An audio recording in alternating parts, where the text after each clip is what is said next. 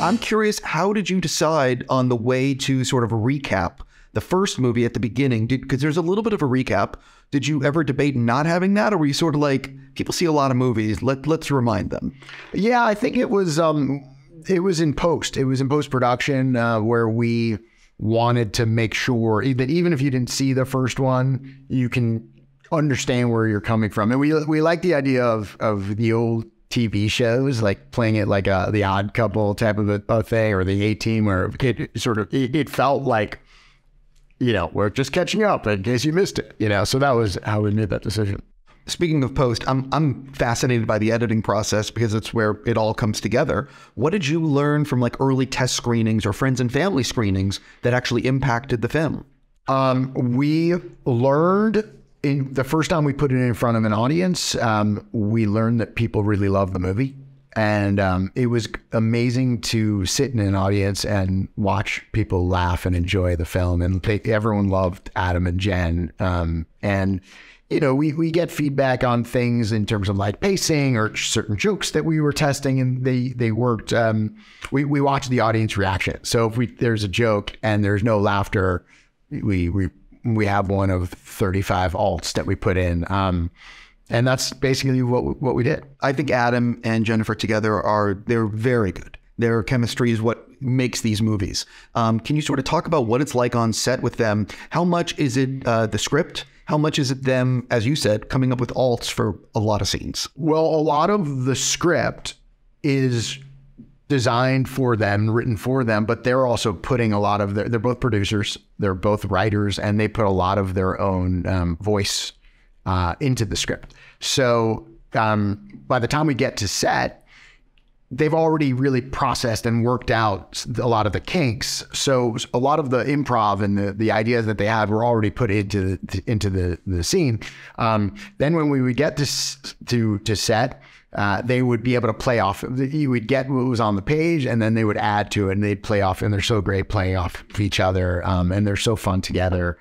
But we had a we had a group of people who were on set writing alt, and we would have all these alt jokes that we would just try, um, and and we got some killers in there, which which which are in the movie, and um, it's fun. I definitely have to ask you, no spoilers, but the how did you decide on the ending? Because it's a little bit of a I don't what's the right word cliffhanger.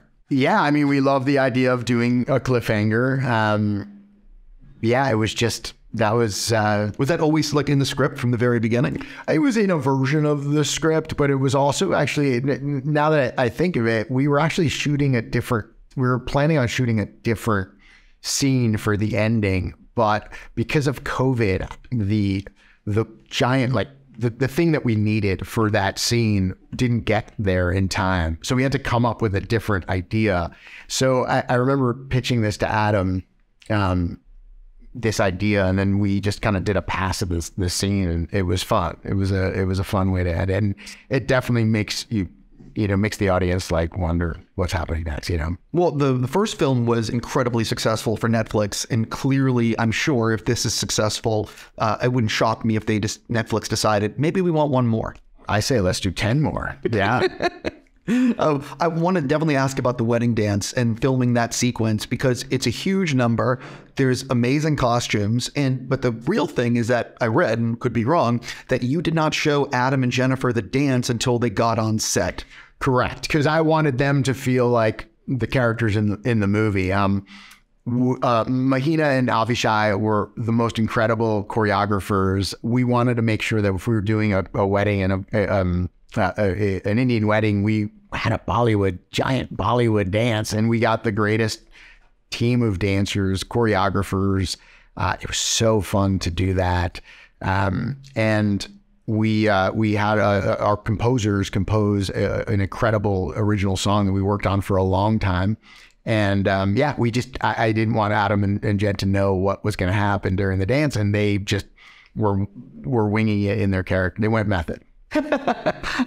uh, when, so when people watch, they should be watching their faces. Um, Oh, yeah. Uh, I definitely want to touch on JJ Perry, who's your second unit director, and obviously, um, I believe he helped with the or did the Eiffel Tower sequence. Can you sort of talk about that sequence because it's a big, big stunt for this movie? huge. So JJ, so JJ, um, uh, JJ did the Eiffel Tower sequence. He did a lot of the fight sequences in there. Spiro uh, did the car ch- chase, the van chase sequence. Um, we just had an incredible team of, of, of stunts and second unit directors. JJ JJ's an, not only a, a great second unit director, he's an incredible director. He directed Day Shift for for uh, for Netflix. Did a did a great job such an incredible energy, spirit, so fun to be around, and really um, protected everybody, made sure everyone was safe. But we had a had a really fun time. Uh, of course, I like asking directors, do you already know what you're thinking about uh, for doing next? Right now, I'm writing something uh, for. I started a company called American High, where I bought a high school to make high school films. Um, Wait, what? In upstate New York. Wait, start again? What? Um, I, I always loved high school movies, like the John, all the John Hughes movies, and, and um, nobody was making them. So about five years ago, I bought a abandoned high school in upstate New York and started a company called American High, and we just make high school movies. We did Big Time Adolescence with Pete Davidson. We did uh, The Binge with Vince Vaughn, Plan B with Kuhoo Verma, who's who's in here, um, and yeah. So I'm working on another uh, another uh, high school movie that we're going to shoot um, in in April. I have to go, but I just can't believe you own a high school. I do. What's it called? American High. That's crazy. Gotta come visit. Um, listen, congrats. Hope it's a huge hit for you. I gotta go.